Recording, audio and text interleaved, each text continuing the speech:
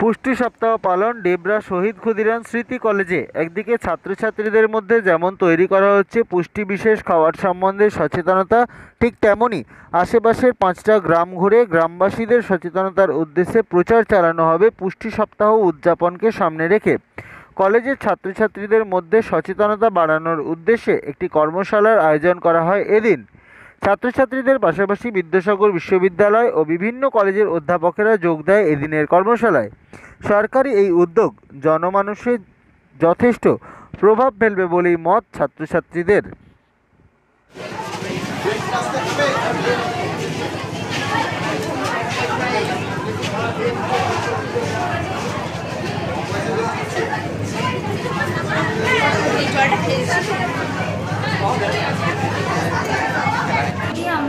একটা message nutrition সম্বন্ধে যে অ্যাওয়ারনেস সম্বন্ধে মেসেজ সবার মধ্যে একটা ছড়িয়ে দেওয়ার চেষ্টা করেছি।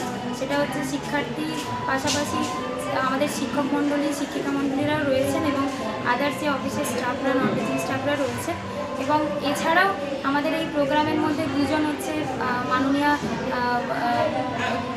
ব্যক্তিত্বরা এসেছেন, যারা হচ্ছে স্টুডেন্টদের উদ্দেশ্যে লেকচার দেবেন স্পিচ দেবেন। একজন হচ্ছে দেবীদাস প্রফেসর দেবী ডক্টর দেবীদাস ঘোষ মহাশয়।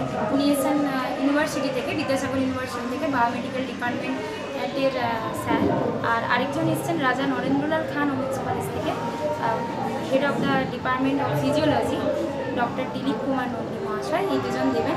এরপরে আমাদের কিছু প্রোগ্রাম রয়েছে। এরপরে আমরা একটা ফ্লেক্সের মাধ্যমে র্যালিতে বেরোবো এবং পাশাপাশি যে গ্রাম আছে সেটা পরিদর্শন করব এবং তাদের এর মধ্য দিয়ে আমরা যে অ্যাডোলেসেন্স পিরিয়ডের মানে যে গার্লরা রয়েছে, এছাড়া প্রেগনেন্ট মাদাররা রয়েছে এই গর্ভবতী নারীদের খাদ্য, তারপরে কৈশোরকালীন যে খাদ্য ব্যবস্থা বা সুখাদ্যের অভ্যেস, এটা সম্বন্ধে একটা সচেতনতা, একটা অ্যাওয়ারনেস